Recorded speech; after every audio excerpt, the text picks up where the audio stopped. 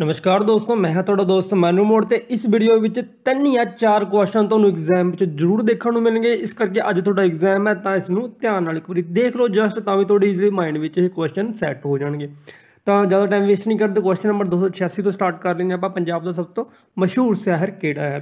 ਅੰਮ੍ਰਿਤਸਰ ਹੈ golden temple ਕਰਕੇ ਮਸ਼ਹੂਰ ਹੈ, ਵਿਦੇਸ਼ੀ ਲੋਕ ਇੱਥੇ ਆਉਂਦੇ ਨੇ, ਤਾਂ ਕਰਕੇ ਪੰਜਾਬ ਦਾ ਸਭ ਤੋਂ ਮਸ਼ਹੂਰ ਸ਼ਹਿਰ ਇਸ ਨੂੰ ਮੰਨਿਆ ਜਾਂਦਾ ਹੈ। ਕੁਐਸਚਨ ਨੰਬਰ 287 ਦੀ ਗੱਲ ਕਰੀਏ, ਪੰਜਾਬ ਦੀ ਪਹਿਲੀ ਮਹਿਲਾ ਮੁੱਖ ਮੰਤਰੀ ਕੌਣ ਸੀ ਤਾਂ ਰਜਿੰਦਰ ਕੌਰ? ਭੱਟਲ ਕਾਫੀ ਇੰਪੋਰਟੈਂਟ ਕੁਐਸਚਨ ਹੈ ਵੀ। ਪੰਜਾਬ ਦਾ ਪਹਿਲਾ ਗਵਰਨਰ ਕੌਣ ਸੀ? ਚੰਦੂ ਲਾਲ ਤ੍ਰਿਵੇਦੀ ਐਗਜ਼ਾਮ ਵਿੱਚ ਚਾਂਸਸ ਬਣਦੇ ਨੇ, ਇਹ ਕੁਐਸਚਨ ਆਉਣ ਦੇ।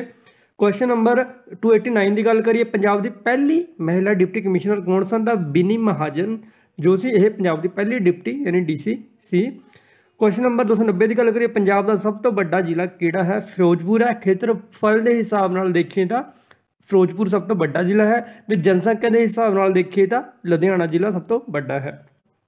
ਓਕੇ ਦੋਸਤੋ ਨੈਕਸਟ ਕੁਐਸਚਨ ਦੀ ਗੱਲ ਕਰੀਏ, ਪੰਜਾਬ ਦਾ ਸਭ ਤੋਂ ਛੋਟਾ ਜ਼ਿਲ੍ਹਾ ਪਠਾਨਕੋਟ ਹੈ। ਕੁਐਸਚਨ ਨੰਬਰ 292 ਦੀ ਗੱਲ ਕਰੀਏ, ਪੰਜਾਬ ਦਾ ਅੰਗਰੇਜ਼ੀ ਹਕੂਮਤ ਨਾਲ ਮਿਲਾਪ ਕਦੋਂ ਹੋਇਆ ਸੀ? 1849 ਈਸਵੀ ਵਿੱਚ, ਮਤਲਬ ਅੰਗਰੇਜ਼ੀ ਹਕੂਮਤ ਪੰਜਾਬ ਵਿੱਚ ਇੰਟਰ ਹੋਈਆਂ ਸੀ। ਤੇ ਦੋਸਤੋ, ਕਾਫੀ ਬੱਚੇ ਕਹਿੰਦੇ ਨੇ ਕਿ ਐਮਸੀਕਿਊ ਟਾਈਪ ਮਤਲਬ ਕਿ ਚਾਰ ਆਪਸ਼ਨ ਦੇ ਕੇ ਸਾਨੂੰ ਕਲਾਸ ਪ੍ਰੋਵਾਈਡ ਕਰਾਇਆ ਕਰੋ। ਦੋਸਤੋ, ਹੁੰਦਾ ਕੁਝ ਨਹੀਂ, ਇਹ ਸਾਰਾ ਟਾਈਮ ਵੇਸਟ ਹੁੰਦਾ ਮੈਂ ਪਹਿਲਾਂ ਇੱਕ ਪੂਰੀ ਪ੍ਰੈਜੈਂਟੇਸ਼ਨ ਬਣਾਵਾਂਗਾ, ਹੈ ਨਾ? ਉਸ ਤੋਂ ਬਾਅਦ ਉਹਦੇ ਚਾਰ ਆਪਸ਼ਨ ਹੋਣਗੇ। ਐਨੇ ਚ ਮੈਂ 40 ਕੁਐਸਚਨ ਕਵਰ ਕਰ ਦਿੰਦਾ। ਇੱਕ ਕੁਐਸਚਨ ਕਵਰ ਹੋਊਗਾ ਤਾਂ ਤਾਂ ਕਰਕੇ ਇਹ ਸਭ ਤੋਂ ਈਜ਼ੀ ਵੇ ਹੈ ਤੇ ਜਲਦੀ ਆਪਣੇ ਮਾਈਂਡ ਵਿੱਚ ਇਹ ਗੱਲਾਂ ਸੈੱਟ ਹੋ ਜਾਂਦੀਆਂ ਨੇ। ਤੇ ਹੁਣ ਕੁਐਸਚਨ ਨੰਬਰ 293 ਦੀ ਗੱਲ ਕਰ ਲਈਏ ਆਪਾਂ। ਪੰਜਾਬ ਦਾ ਨਾਮਾ ਬਣਿਆ ਸ਼ਹਿਰ ਕਿਹੜਾ ਹੈ? ਆਨੰਦਗੜ੍ਹ ਸਾਹਿਬ ਜਿਹੜਾ ਪੰਜਾਬ ਦਾ ਲੇਟੈਸਟ ਸ਼ਹਿਰ ਹੈ। ਤੇ ਨੈਕਸਟ ਕੁਐਸਚਨ ਦੀ ਗੱਲ ਕਰੀਏ, ਪੰਜਾਬ ਦੇ ਕਿਹੜੇ ਸ਼ਹਿਰ ਨੂੰ ਸਿੱਖੀ ਧਰਮ ਦਾ ਧੁਰਾ ਮੰਨਿਆ ਜਾਂਦਾ ਹੈ? ਤਾਂ ਅੰਮ੍ਰਿਤਸਰ ਨੂੰ ਮੰਨਿਆ ਜਾਂਦਾ ਹੈ। ਕੁਐਸਚਨ ਨੰਬਰ 295 ਦੀ ਗੱਲ ਕਰੀਏ, ਕਾਜੀਰੰਗਾ ਨੈਸ਼ਨਲ ਪਾਰਕ ਕਿੱਥੇ ਸਥਿਤ ਹੈ? ਅਸਾਮ ਵਿੱਚ ਇਹ ਸਥਿਤ ਹੈ। 296 ਨੰਬਰ ਕੁਐਸਚਨ ਦੀ ਗੱਲ ਕਰੀਏ, ਜੀਵਾਂ ਦੇ ਬਚਾਅ ਲਈ ਇੱਕ ਵੱਡਾ ਖਤਰਾ ਕਿਹੜਾ ਹੈ? ਮਤਲਬ ਕਿ ਜੀਵਾਂ ਦੀ ਹੋਂਦ ਖਤਮ ਨਾ ਹੋ ਜੇ, ਕੀ ਰੀਜ਼ਨ ਹੈ? ਜੰਗਲਾਂ ਦੀ ਕਟਾਈ ਉਸ ਦਾ ਰੀਜ਼ਨ ਹੈ। ਤੇ ਦੋਸਤੋ, ਇਹਨਾਂ ਸਾਰੇ ਕੁਐਸਚਨਾਂ ਦੀ ਪੀਡੀਐਫ ਤੁਹਾਨੂੰ ਮਿਲ ਜਾਵੇਗੀ। ਵੀਡੀਓ ਦੇ ਡਿਸਕ੍ਰਿਪਸ਼ਨ ਬਾਕਸ ਵਿੱਚ ਜਾਓਗੇ, WhatsApp ਗਰੁੱਪ ਹੈ ਉਸ ਨੂੰ ਜਾ ਕੇ ਜੁਆਇਨ ਕਰ ਲਓ। ਇਹ ਪੀਡੀਐਫ ਮੈਂ ਤੁਹਾਨੂੰ WhatsApp ਗਰੁੱਪ ਉੱਪਰ ਪ੍ਰੋਵਾਈਡ ਕਰਵਾ ਦੇਵਾਂਗਾ ਉਹ ਦੋਸਤੋ ਤੇ ਕੁਐਸਚਨ ਨੰਬਰ 297 ਦੀ ਗੱਲ ਕਰੀਏ, ਪੌਦਿਆਂ ਨੂੰ ਪ੍ਰਕਾਸ਼ ਸੰਸਲੇਸ਼ਣ ਲਈ ਡੈਸ਼ ਦੀ ਲੋੜ ਹੁੰਦੀ ਹੈ ਕਾਰਬਨ ਡਾਈਆਕਸਾਈਡ ਦੀ ਜ਼ਰੂਰਤ ਹੁੰਦੀ ਹੈ। ਕੁਐਸਚਨ ਨੰਬਰ 298 ਦੀ ਗੱਲ ਕਰੀਏ ਡੈਸ਼ ਬਾਰਿਸ਼ ਦੀ ਕਮੀ ਕਾਰਨ, ਕਮੀ ਦਾ ਕਾਰਨ ਬਣ ਸਕਦਾ ਹੈ। ਸੋਕਾ ਕਾਰਨ ਬਾਰਿਸ਼ ਕਮ ਪੈਂਦੀ ਆ।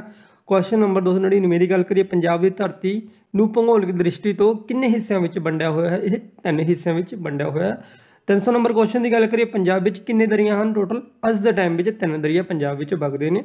ਕੁਐਸਚਨ ਨੰਬਰ 301 ਦੀ ਗੱਲ ਕਰੀਏ, ਵਿਪਾਸ਼ਾ ਸੰਸਕ੍ਰਿਤੀ ਭਾਸ਼ਾ ਵਿੱਚ ਕਿਸ ਨਦੀ ਦਾ ਨਾਮ ਹੈ? ਵਿਪਾਸ਼ਾ ਕਿਸ ਨਦੀ ਨੂੰ ਕਿਹਾ ਜਾਂਦਾ ਹੈ? ਬਿਆਸ ਨਦੀ ਨੂੰ ਵਿਪਾਸ਼ਾ ਸੰਸਕ੍ਰਿਤੀ ਲੈਂਗੁਏਜ ਵਿੱਚ ਕਿਹਾ ਜਾਂਦਾ ਹੈ। ਕੁਐਸਚਨ ਨੰਬਰ 2 302 ਦੀ ਗੱਲ ਕਰੀਏ ਗੁਰੂ ਨਾਨਕ ਦੇਵ ਥਰਮਲ ਪਲਾਂਟ ਕਦੋਂ ਤਿਆਰ ਹੋਇਆ ਸੀ? ਮਤਲਬ ਕਦੋਂ ਬਣਿਆ ਸੀ? 1982 ਈਸਵੀ ਵਿੱਚ ਇਹ ਬਣਿਆ ਸੀ। ਕੁਐਸਚਨ ਨੰਬਰ 304 ਦੀ ਗੱਲ ਕਰੀਏ, ਦੋ ਦਰਿਆਵਾਂ ਵਿਚਕਾਰਲੇ ਖੇਤਰ ਨੂੰ ਕੀ ਕਹਿੰਦੇ ਨੇ? ਦੁਆਬਾ, ਉਸ ਏਰੀਆ ਨੂੰ ਕਿਹਾ ਜਾਂਦਾ ਹੈ। ਕੁਐਸਚਨ ਨੰਬਰ 301 ਦੀ ਗੱਲ ਕਰੀਏ, ਨੌਜਵਾਨ ਭਾਰਤ ਸਭਾ ਦੀ ਸਥਾਪਨਾ ਕਦੋਂ ਹੋਈ ਸੀ? ਤਾਂ 1926 ਈਸਵੀ ਵਿੱਚ ਹੋਈ ਸੀ। ਕੁਐਸਚਨ ਨੰਬਰ 304 ਦੀ ਗੱਲ ਕਰੀਏ ਕਾਮਾਗਾਟਾ ਮਾਰੂ ਨਾਮਕ ਜਹਾਜ਼ ਕਿਸਨੇ ਕਿਰਾਏ ਤੇ ਲਿਆ ਸੀ? ਬਾਬਾ ਗੁਰਦਿੱਤਾ ਸਿੰਘ ਨੇ ਇਹ ਜਹਾਜ਼ ਲਿਆ ਸੀ। ਕਿਰਾਏ ਤੇ। ਕੁਐਸਚਨ ਨੰਬਰ 305 ਦੀ ਗੱਲ ਕਰੀਏ, ਧਰਤੀ ਦੀ ਕਿੰਨੀ ਪ੍ਰਤੀਸ਼ਤ ਹਿੱਸਾ ਜ਼ਮੀਨ ਹੈ? 29% ਜਿਹੜਾ ਧਰਤੀ ਦਾ, ਬਾਕੀ ਸਾਰਾ ਏਰੀਆ ਜਿਹੜਾ ਬਚ ਗਿਆ, ਜਿੰਨੀ ਪਰਸੈਂਟ ਬਚ ਗਿਆ, ਉਹ ਪਾਣੀ ਦੇ ਘਿਰਿਆ ਹੋਇਆ ਹੈ।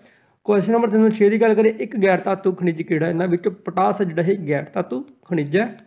ਕੁਐਸਚਨ ਨੰਬਰ 307 ਦੀ ਗੱਲ ਕਰੀਏ ਤਾਪਮਾਨ ਨੂੰ ਮਾਪਣ ਲਈ ਕੀ ਉਪਕਰਨ ਦੀ ਯੂਜ਼ ਕੀਤਾ ਜਾਂਦਾ? ਤਾਂ ਥਰਮਾਮੀਟਰ ਇਹ ਤਾਂ ਸਭ ਨੂੰ ਪਤਾ ਹੀ ਹੋਣਾ, ਹੈ ਨਾ? ਪਤਾ ਤਾਂ ਵੀਡੀਓ ਵਿੱਚ ਯੈਸ ਲਿਖ ਕੇ ਕਮੈਂਟ ਜ਼ਰੂਰ ਕਰ ਦਿਓ ਰਿਕੁਐਸਟ ਹੈ ਮੇਰੀ ਇਹ। ਕੁਐਸਚਨ ਨੰਬਰ 308 ਦੀ ਗੱਲ ਕਰੀਏ, ਵਾਯੂਮੰਡਲ ਵਿੱਚ ਜੀਵਨ ਦੇਣ ਵਾਲੀ ਗੈਸ ਕਿਹੜੀ ਹੈ? ਆਕਸੀਜਨ ਹੈ। ਕੁਐਸਚਨ ਨੰਬਰ 309 ਦੀ ਗੱਲ ਕਰੀਏ, ਵਾਯੂਮੰਡਲ ਵਿੱਚ ਕਿਹੜੀ ਗੈਸ ਸਭ ਤੋਂ ਜ਼ਿਆਦਾ ਪਾਈ ਜਾਂਦੀ ਹੈ? ਤਾਂ ਨਾਈਟ੍ਰੋਜਨ ਗੈਸ ਸਭ ਤੋਂ ਜ਼ਿਆਦਾ ਪਾਈ ਜਾਂਦੀ ਹੈ। ਕੁਐਸਚਨ ਨੰਬਰ 310 ਦੀ ਗੱਲ ਕਰੀਏ, ਕਿਹੜੀ ਰੇਖਾ ਧਰਤੀ ਦੇ ਵਿਚਕਾਰ ਲੰਘਦੀ ਹੈ? ਭੂਮੱਧ ਰੇਖਾ, ਭੂਮੱਧ, ਮੱਧ ਮੇਨੇ ਵਿਚਕਾਰ ਹੁੰਦਾ ਤਾਂ ਇਸ ਤੋਂ ਆਪਾਂ ਈਜ਼ੀਲੀ ਮਾਈਂਡ ਵਿੱਚ ਇਹ ਸੈੱਟ ਹੋ ਜਾਵੇਗਾ। ਕੁਐਸਚਨ ਨੰਬਰ 311 ਦੀ ਗੱਲ ਕਰੀਏ, ਮਹਿਮੂਦ ਗਜਨਬੀ ਨੇ ਭਾਰਤ ਤੇ ਕਿੰਨੀ ਵਾਰ ਹਮਲਾ ਕੀਤਾ ਸੀ? ਟੋਟਲ 17 ਵਾਰ ਹਮਲਾ ਕੀਤਾ ਸੀ। ਕੁਐਸਚਨ ਨੰਬਰ 312 ਦੀ ਗੱਲ ਕਰੀਏ, ਕੁਤਬ ਮਿਨਾਰ ਕਿਸਨੇ ਬਣਵਾਈ ਸੀ? ਦਿੱਲੀ ਵਿੱਚ ਜਿਹੜੀ ਕੁਤਬ ਮਿਨਾਰ ਹੈ, ਤੁਸੀਂ ਦੇਖੀ ਮੈਂ ਦੇਖੀ ਹੈ, ਬਹੁਤ ਵਧੀਆ, ਮਤਲਬ ਕਿ ਲੋਕੇਸ਼ਨ ਹੈ ਉੱਥੇ ਦੀ। ਤਾਂ ਕੁਤਬਦੀਨ ਐਵਕ ਨੇ ਇਹ ਕੁਤਬ ਮਿਨਾਰ ਬਣਵਾਈ ਹੋਈ ਹੈ। ਕੁਐਸਚਨ ਨੰਬਰ 313 ਦੀ ਗੱਲ ਕਰੀਏ, ਖਿਲਜੀ ਵੰਸ਼ ਦਾ ਮੋਢੀ ਕੌਣ ਸੀ? ਤਾਂ ਜਲਾਲਉਦੀਨ ਖਿਲਜੀ। ਇਹ ਕੁਐਸਚਨ ਆਪਾਂ ਨੂੰ ਨਾ ਕਨਫਿਊਜ਼ ਕਰਨਗੇ। ਖਿਲਜੀ ਵੰਸ਼ ਲੋਧੀ ਵੰਸ਼ ਇਸ ਤਰ੍ਹਾਂ ਦੇ ਕੁਐਸਚਨ ਤਾਂ ਕਰਕੇ ਇਹਨਾਂ ਨੂੰ ਰਿਲੇਟ ਕਰਕੇ ਯਾਦ ਕਰੋ। ਖਿਲਜੀ ਮੈਨੇ ਕੀ ਹੁੰਦਾ? ਖਿਲ ਖਿਲ ਤੁਸੀਂ ਖਾਈ ਹੋਣੀ, ਬੱਚੇ ਖਾਂਦੇ ਹੁੰਦੇ ਨੇ, ਮਿੱਠੀ ਖਿਲ, ਹੈ ਨਾ? ਤਾਂ ਉਸ ਨੂੰ ਖਾ ਕੇ ਬਸ ਪੂਰਾ ਦਿਨ ਇੰਜੋਏ ਕਰਦੇ ਰਹਿੰਦੇ ਨੇ। ਖਿਲਜੀ ਨੂੰ ਦਿਨ ਨਾਲ ਜੋੜ ਲਓ ਆਪਾਂ, ਵੀ ਬੱਚੇ ਪੂਰਾ ਦਿਨ ਖਿਲਣਾ ਜੀ ਖਾਂਦੇ ਰਹਿੰਦੇ ਨੇ, ਹੈਨਾ? ਤਾਂ ਇਸ ਤਰ੍ਹਾਂ ਮਾਈਂਡ ਵਿੱਚ ਸੈੱਟ ਹੋ ਜਾਂਦਾ ਇਹ ਗੱਲਾਂ। ਕੁਐਸਚਨ ਨੰਬਰ 314 ਦੀ ਗੱਲ ਕਰੀਏ, ਇਤਿਹਾਸ ਦਾ ਸਭ ਤੋਂ ਬੁੱਧੀਮਾਨ ਮੂਰਖ ਕਿਸ ਨੂੰ ਕਿਹਾ ਜਾਂਦਾ ਹੈ? ਤਾਂ ਮੁਹੰਮਦ ਬਿਨ ਤੁਗਲਕ ਨੂੰ ਬੁੱਧੀਮਾਨ ਮੂਰਖ ਕਿਹਾ ਜਾਂਦਾ ਹੈ। ਓਕੇ ਦੋਸਤੋ, ਤੇ ਰਿਲੇਟ ਕਰਨ ਦਾ ਜਿਹੜਾ ਤਰੀਕਾ ਹੈ, ਕਿਸੇ ਵੀ ਆਪਣੇ ਰਿਲੇਟਿਵ ਨਾਲ ਤੁਸੀਂ ਇਹਨਾਂ ਨੂੰ ਰਿਲੇਟ ਕਰਕੇ ਈਜ਼ੀਲੀ ਜ਼ਿਆਦਾ ਟਾਈਮ ਤੱਕ ਯਾਦ ਰੱਖ ਸਕਦੇ ਹੋ। ਡੈਸ਼ ਭਾਰਤ ਦੀ ਪਹਿਲਾ ਮਹਿਲਾ ਸੁਲਤਾਨ ਸੀ ਰਜੀਆ ਸੁਲਤਾਨ ਸੀ ਕੁਐਸਚਨ ਨੰਬਰ 316 ਦੀ ਗੱਲ ਕਰੀਏ ਪਾਣੀਪਤ ਦੀ ਦੂਜੀ ਲੜਾਈ ਕਦੋਂ ਹੋਈ ਸੀ 1556 ਈਸਵੀ ਵਿੱਚ ਹੋਈ ਸੀ ਕੁਐਸਚਨ ਨੰਬਰ 317 ਦੀ ਗੱਲ ਕਰੀਏ ਡਰੰਡ ਕੱਪ ਕਿਸ ਖੇਡ ਨਾਲ ਜੁੜਿਆ ਹੋਇਆ ਇਹ ਫੁੱਟਬਾਲ ਦਾ ਇੱਕ ਮੈਚ ਹੁੰਦਾ ਹੈ ਕੁਐਸਚਨ ਨੰਬਰ 318 ਦੀ ਗੱਲ ਕਰੀਏ ਬਟਰਫਲਾਈ ਸਟ੍ਰੋਕ ਡੈਥ ਨਾਲ ਸੰਬੰਧਿਤ ਹੈ ਇਹ ਤੈਰਾਕੀ ਯਾਨੀ ਸਵੀਮਿੰਗ ਦੀ ਗੇਮ ਨਾਲ ਸੰਬੰਧਿਤ ਹੈ ਕੁਐਸਚਨ ਨੰਬਰ 319 ਦੀ ਗੱਲ ਕਰੀਏ ਭਾਰਤ ਨੇ ਪਹਿਲੀ ਵਾਰ 올림픽 ਖੇਡਾਂ ਵਿੱਚ ਕਦੋਂ ਭਾਗ ਲਿਆ ਸੀ ਤਾਂ 1920 ਈਸਵੀ ਵਿੱਚ ਭਾਗ ਲਿਆ ਸੀ। ਕੁਐਸਚਨ ਨੰਬਰ 320 ਦੀ ਗੱਲ ਕਰੀਏ, ਕਰੋ ਜਾਂ ਮਰੋ ਦਾ ਨਾਰਾ ਕਿਸ ਨੇ ਲਗਾਇਆ? ਮਹਾਤਮਾ ਗਾਂਧੀ ਜੀ ਨੇ ਪੰਜਾਬ ਕੇਸਰੀ ਦਾ ਖਿਤਾਬ ਕਿਸ ਨੂੰ ਦਿੱਤਾ ਗਿਆ? ਲਾਲਾ ਲਾਜਪਤ ਰਾਏ ਜੀ ਨੂੰ। ਕੁਐਸਚਨ ਨੰਬਰ 322 ਦੀ ਗੱਲ ਕਰੀਏ, ਸ਼ੂਗਰ ਦੇ ਮਰੀਜ਼ ਨੂੰ ਕਿਹੜੀ ਚੀਜ਼ਾਂ ਤੋਂ ਬਚਣਾ ਚਾਹੀਦਾ ਹੈ? ਮਿੱਠੀਆਂ ਚੀਜ਼ਾਂ ਤੋਂ। ਇਹ ਤਾਂ ਸਭ ਨੂੰ ਪਤਾ ਹੀ ਹੋਣਾ। ਕੁਐਸਚਨ ਨੰਬਰ 323 ਦੀ ਗੱਲ ਕਰੀਏ, ਕਰੋਨਾ ਸੰਕਰਮਿਤ ਮਰੀਜ਼ ਵਿੱਚ ਕੀ ਲੱਛਣ ਪਾਏ ਜਾਂਦੇ ਨੇ? ਸੁੱਕੀ ਖੰਘ ਹੁੰਦੀ ਹੈ ਉਸ ਨੂੰ ਬੁਖਾਰ ਹੁੰਦਾ ਹੈ ਤੇ ਸਾਹ ਦਾ ਫੁੱਲਣਾ ਜਾਂ ਸਾਹ ਦੀ ਕਮੀ ਹੋਣ ਲੱਗ ਜਾਂਦੀ ਹੈ। ਕੁਐਸਚਨ ਨੰਬਰ 324 ਦੀ ਗੱਲ ਕਰੀਏ, ਰਾਸ਼ਟਰੀ ਵਿਗਿਆਨ ਦਿਵਸ ਕਦੋਂ ਮਨਾਇਆ ਜਾਂਦਾ ਹੈ? 28 ਫਰਵਰੀ ਨੂੰ, ਇਹ ਯਾਦ ਰੱਖਿਓ, ਕਾਫੀ ਇੰਪੋਰਟੈਂਟ ਕੁਐਸਚਨ ਐਗਜ਼ਾਮ ਵਿੱਚ ਜ਼ਰੂਰ ਪੁੱਛਿਆ ਜਾ ਸਕਦਾ ਹੈ। 300 ਨੰਬਰ 325 ਨੰਬਰ ਕੁਐਸਚਨ ਦੀ ਗੱਲ ਕਰੀਏ, ਡੈਸ਼ ਦੀ ਰਾਜਧਾਨੀ, ਜੈਪੁਰ। ਤੇ ਦੋਸਤੋ, ਇਹ ਰਾਜਧਾਨੀਆਂ ਨਾ, ਆਪਣੀ ਜਿਹੜੀ ਵੀ ਸਟੇਟਸ ਨੇ ਹੈ ਨਾ ਸਾਰਿਆਂ ਦੀ ਇੱਕ ਵਾਰੀ ਰਾਜਧਾਨੀ ਤੁਸੀਂ ਰੀਡ ਕਰ ਲਓ। ਜਿਹੜੇ ਮੈਂ, ਮੈਨੂੰ ਚਾਂਸ ਲੱਗਦੇ ਨੇ ਐਗਜ਼ਾਮ ਵਿੱਚ, ਉਹ ਮੈਂ ਇਸ ਵੀਡੀਓ ਵਿੱਚ ਇਨਕਲੂਡ ਕਰ ਲਏ ਨੇ ਕੁਐਸਚਨ ਇੱਕ ਵਾਰੀ ਬਟ ਸਾਰੇ ਆਪਣੇ 28 ਦੇ 28 ਰਾਜਾਂ ਦੀ ਤੁਸੀਂ ਰਾਜਧਾਨੀ ਇੱਕ ਵਾਰੀ ਜ਼ਰੂਰ ਰੀਡ ਕਰ ਲਿਓ। ਕੁਐਸਚਨ ਨੰਬਰ 326 ਦੀ ਗੱਲ ਕਰੀਏ, ਦਾਦਰ ਨਗਰ ਹਵੇਲੀ ਅਤੇ ਦਮਨਦੀਪ ਨੂੰ ਕੇਂਦਰ ਸ਼ਾਸਿਤ ਪ੍ਰਦੇਸ਼ ਕਦੋਂ ਬਣਾਇਆ ਗਿਆ ਸੀ? ਤਾਂ 26 ਜਨਵਰੀ 1920 ਈਸਵੀ ਵਿੱਚ ਇਹ ਕੇਂਦਰ ਸ਼ਾਸਿਤ ਯੂਨੀਅਨ ਟੈਰੀਟਰੀ ਘੋਸ਼ਿਤ ਕੀਤੀ ਗਈ ਨੇ। ਕੁਐਸਚਨ ਨੰਬਰ 327 ਦੀ ਗੱਲ ਕਰੀਏ ਗੁਰਦੇ ਦੀ ਪੱਥਰੀ ਵਾਲੇ ਵਿਅਕਤੀ ਨੂੰ ਹੇਠ ਲਿਖਣ ਵਿੱਚ ਕਿਹੜੀ ਚੀਜ਼ਾਂ ਦਾ ਪਰਹੇਜ਼ ਕਰਨਾ ਚਾਹੀਦਾ ਹੈ? ਨਿੰਬੂ, ਟਮਾਟਰ ਤੇ ਲੈਟਰਸ ਤੇ ਸਿੱਕਾ। ਇਹਨਾਂ ਵਿੱਚੋਂ ਟਮਾਟਰ ਟਮਾਟਰ ਵੀ ਛੋਟੇ ਛੋਟੇ ਬੀਜ ਹੁੰਦੇ ਨੇ, ਜੋ ਪੱਥਰੀ ਨੂੰ, ਪੱਥਰੀ ਦੇ ਦਰਦ ਨੂੰ ਇਨਕਰੀਜ਼ ਕਰਦੇ ਨੇ। ਓਕੇ ਦੋਸਤੋ ਕੁਐਸਚਨ ਨੰਬਰ 328 ਦੀ ਗੱਲ ਕਰੀਏ ਗ੍ਰੈਵਿਟੀ ਯਾਨੀ ਗੁਰੂਤਰਕਸ਼ਣਾ ਦੀ ਖੋਜ ਕਿਸ ਨੇ ਕੀਤੀ ਸੀ? ਤਾਂ ਨਿਊਟਨ ਨੇ ਕੀਤੀ ਸੀ। ਕੁਐਸਚਨ ਨੰਬਰ 329 ਦੀ ਗੱਲ ਕਰੀਏ, ਕਿਸ਼ੋਰ ਅਵਸਥਾ ਦੀ ਕੀ ਮਿਆਦ ਹੁੰਦੀ ਹੈ? ਤਾਂ 11 ਤੋਂ ਲੈ ਕੇ 19 ਸਾਲਾਂ ਦਾ ਜਿਹੜਾ ਬੱਚਾ ਹੁੰਦਾ ਉਸ ਨੂੰ ਕਿਸ਼ੋਰ ਅਵਸਥਾ ਕਿਹਾ ਜਾਂਦਾ ਹੈ।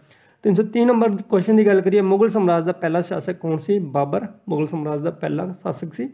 ਹੁਣ ਮੁਗਲ ਤੋਂ ਤੁਹਾਨੂੰ ਮਾਈਂਡ ਵਿੱਚ ਕੀ ਸੈਟ ਆ ਰਿਹਾ? ਮੈਨੂੰ ਕੀ ਆ ਰਿਹਾ? ਮੁਗਲ ਤੋਂ ਗੱਲ। ਮੂੰਹ ਨੂੰ ਕੱਢ ਦੋ, ਗੱਲ। ਮੂੰਹ ਕਿੱਥੋਂ ਆਉਂਦੇ ਆ ਗੱਲ। ਤੇ ਬੱਬਰ ਸ਼ੇਰ ਹੈ, ਉਹ ਗੱਲ ਕਿੱਥੇ ਕਰਦਾ ਹੈ ਨਾ? ਕੁਝ ਇਸ ਤਰ੍ਹਾਂ ਹੀ ਰਿਲੇਟ ਕਰ ਲਓ ਫਨੀ ਜਿਹੇ ਤਰੀਕੇ ਨਾਲ। ਕੁਐਸਚਨ ਨੰਬਰ 331 ਦੀ ਗੱਲ ਕਰੀਏ ਸਿੱਖਾਂ ਦੇ ਨੌਵੇਂ ਗੁਰੂ ਕੌਣ ਨੇ? ਸ੍ਰੀ ਗੁਰੂ ਤੇਗ ਬਹਾਦਰ ਜੀ। ਕੁਐਸਚਨ ਨੰਬਰ 333 ਦੀ ਗੱਲ ਕਰੀਏ, ਅਕਬਰਨਾਮਾ ਕਿਸ ਨੇ ਲਿਖਿਆ? ਅਬੁਲ ਫਜ਼ਲ ਨੇ ਲਿਖਿਆ ਸੀ ਅਕਬਰਨਾਮਾ। ਕੁਐਸਚਨ ਨੰਬਰ 333 ਦੀ ਗੱਲ ਕਰੀਏ, ਪਾਣੀਪਤ ਦੀ ਪਹਿਲੀ ਲੜਾਈ ਕਿਸ ਵਿਚਕਾਰ ਹੋਈ ਸੀ? ਇੱਥੇ ਥੋੜੀ ਸਪੈਲਿੰਗ ਮਿਸਟੇਕ ਹੋ ਗਈ। ਤਾਂ ਪਾਣੀਪਤ ਦੀ ਤੀਜੀ ਲੜਾਈ ਬਾਬਰ ਅਤੇ ਇਬਰਾਹਿਮ ਲੋਧੀ ਦੇ ਵਿਚਕਾਰ ਹੋਈ ਸੀ। ਕੁਐਸਚਨ ਨੰਬਰ 334 ਦੀ ਗੱਲ ਕਰੀਏ, ਸੋਨੀ ਦੀ ਫਸਲ ਕਿਹੜੀ ਹੈ? ਮੱਕੀ। ਇਸ ਸੋਨੀ ਖਰੀਫ ਦੀ ਫਸਲ ਆਪਾਂ ਇਸ ਨੂੰ ਕਹਿ ਸਕਦੇ ਹਾਂ। ਕੁਐਸਚਨ ਨੰਬਰ 335 ਦੀ ਗੱਲ ਕਰੀਏ, ਅੰਗਰੇਜ਼ੀ ਰਾਜ ਵਿੱਚ ਲਾਹੌਰ ਰਾਜ ਕਦੋਂ ਸ਼ਾਮਿਲ ਹੋਇਆ ਸੀ? ਮਤਲਬ ਲਾਹੌਰ ਤੇ ਕਬਜ਼ਾ ਅੰਗਰੇਜ਼ਾਂ ਨੇ ਕਦੋਂ ਕੀਤਾ ਸੀ? 1849 ਈਸਵੀ ਵਿੱਚ ਕੀਤਾ ਸੀ। ਕੁਐਸਚਨ ਨੰਬਰ 336 ਦੀ ਗੱਲ ਕਰੀਏ, ਕਿਸ ਗੁਰੂ ਨੇ ਮਸੰਦ ਪ੍ਰਥਾ ਨੂੰ ਖਤਮ ਕੀਤਾ ਸੀ? ਗੁਰੂ ਗੋਬਿੰਦ ਸਿੰਘ ਜੀ ਨੇ ਮਸੰਦ ਪ੍ਰਥਾ ਖਤਮ ਕਰ ਦਿੱਤੀ ਸੀ। ਕੁਐਸਚਨ ਨੰਬਰ 337 ਦੀ ਗੱਲ ਕਰੀਏ ਜ਼ਿਲ੍ਹਿਆਂਵਾਲਾ ਬਾਗ ਦਾ ਸਾਕਾ ਕਦੋਂ ਹੋਇਆ ਸੀ? 1919 ਵਿੱਚ 13 ਅਪ੍ਰੈਲ 1919 ਆਈ ਥਿੰਕ ਹਾਂ। ਕੁਐਸਚਨ ਨੰਬਰ 338 ਦੀ ਗੱਲ ਕਰੀਏ, ਭਾਰਤ ਵਿੱਚ ਰਾਜਾਂ ਦੀ ਕੁੱਲ ਗਿਣਤੀ 28 ਹੈ। ਕੁਐਸਚਨ ਨੰਬਰ 339 ਦੀ ਗੱਲ ਕਰੀਏ, ਝਾਰਖੰਡ ਦੀ ਰਾਜਧਾਨੀ ਕੀ ਹੈ? ਰਾਂਚੀ।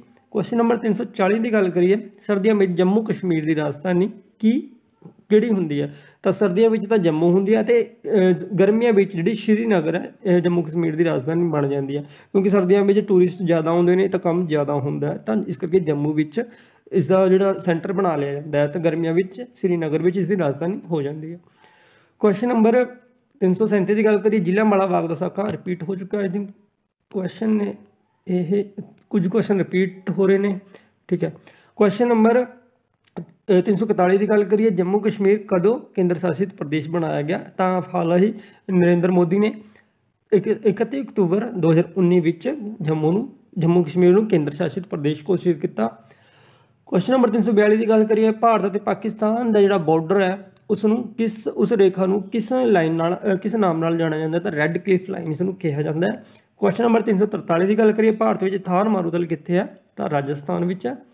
ਕੁਐਸਚਨ ਨੰਬਰ 344 ਦੀ ਗੱਲ ਕਰੀਏ ਸ਼ੋਰ ਮੰਡਲ ਦੀ ਖੋਜ ਕਿਸ ਨੇ ਕੀਤੀ ਸੀ? ਮਤਲਬ ਆਪਣਾ ਪੂਰਾ ਕਿ, ਬ੍ਰਹਮੰਡ ਦੀ ਖੋਜ ਕਿਸ ਨੇ ਕੀਤੀ ਸੀ? ਤਾਂ ਕੋਪਰਨਿਕਸ ਨਾਮਕ ਇੱਕ ਸਾਇੰਟਿਸਟ ਸੀ ਜਿਨੇ ਸੌਰ ਮੰਡਲ ਦੀ ਖੋਜ ਕੀਤੀ ਸੀ।